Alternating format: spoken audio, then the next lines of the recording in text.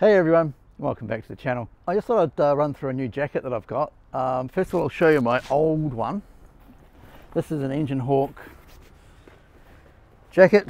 Uh, it's the Hawkeye UV. It's my favorite. It feels safe on. It's got armor in the usual spots, in the back and the shoulders. Um, but on a day like today, on a, on a day like today, it's currently 25 degrees Celsius, or I believe that's 77 degrees Fahrenheit, and the temperature is going to get up to 38 degrees Celsius, which I think is 97 degrees Fahrenheit. On a hot day, a black jack, black leather jacket, while it looks cool, makes the riding experience awful. Even moving, it's way too hot. So, my darling wife let me get a new jacket. Put that there. Still my favorite. This is the Komine JK150 Adventure Jacket. It has, its uh, main feature that I, that I went for, two things. One, it's light, sort of a silver grey uh, with the darker grey mesh panels. Um, and those mesh panels which make up a good percentage of the jacket. It's still CE rated um, the mesh goes through the pockets, through there, through the back. Uh, probably can't see it, but you can see through the back protector. So the airflow in this jacket is going to be amazing. I haven't tried it yet, but from the reviews I've seen, it's really good. Um, the jacket itself CE rated. it comes with armor in the elbows, shoulders, in the back, which is kind of nice and squishy. And with, with they've got a hard, sort of a semi-hard shell, and with chest protectors as well, which have got a hard shell. So um, another few things that it's got is it's got four external pockets, one, two, three, four, there and there. Um, it's got one in the back, which is designed to have the, the rain jacket insert which um, comes separately. You have to pay for that separate.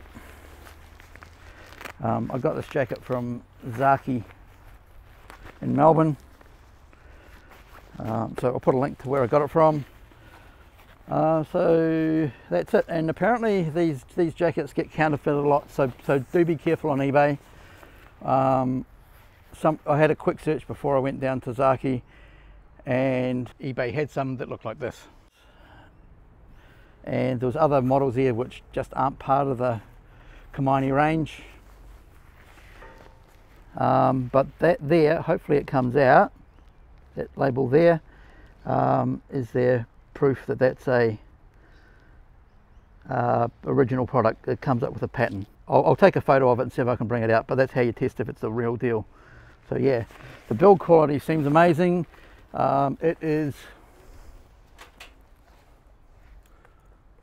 probably half the weight of this one.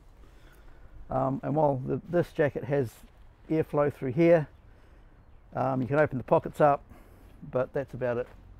And um, I'll take you for a ride later when it gets really hot just to see what it's really like. But so far, I absolutely love the thing. So think, thanks for watching and um, please like and subscribe and stay tuned till later for the test ride. Well, hey everyone finally got out for a test ride this is actually take number three um, uh, I was going to go out that same day it was 38 degrees Celsius but um, my son and I, well son and the family went to, went to pay for a new bike that he was getting. Going to take it for a test ride so stay tuned at the end of the video and I'll show you what it is. It's a really cool it looks fantastic.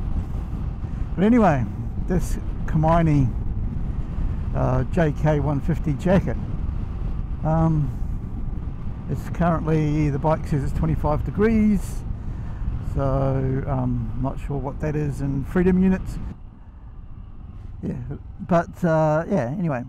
Um, on that 38 degree day when I went out for a ride um, with this jacket on, it was surprisingly cool. This jacket, kind, when you're riding, kind of feels like you're riding with just a t-shirt with active cooling.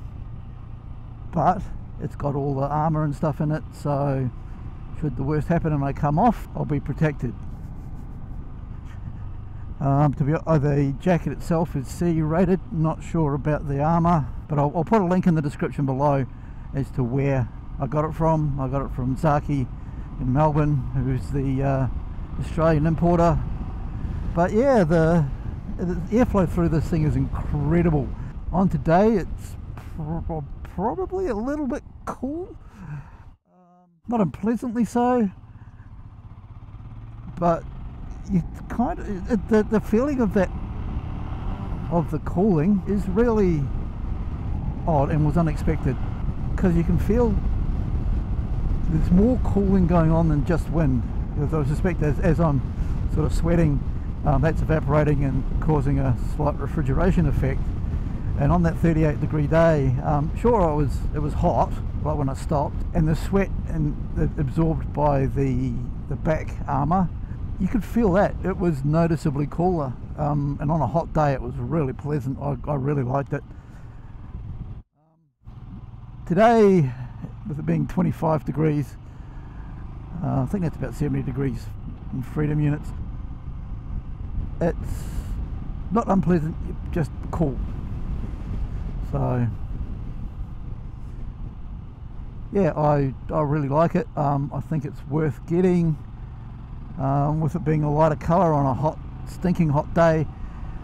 Uh, the jacket itself doesn't heat up much. Um, at night it's got great little reflective spots on it. Um, the Komine branding's all reflective. Um, it's got some up on the chest up here. Yeah so do I think it's worth it uh, absolutely because with my EngineHawk jacket as much as I like that jacket it looks amazing. It's really comfortable. You feel safe in it. If it's over 30 degrees Celsius and it's not cloudy that thing is really hot. I mean really hot. Uh, so yeah especially if you stopped at the lights. And one of the things that surprised me with uh, with this jacket here is that when you stopped at the lights just the ambient breeze um, if from, even from the cars going by you can feel that cooling effect. Um, it was it was quite interesting I would say and quite surprising. So I'm going to get to where I'm going being less dehydrated um, not overheated.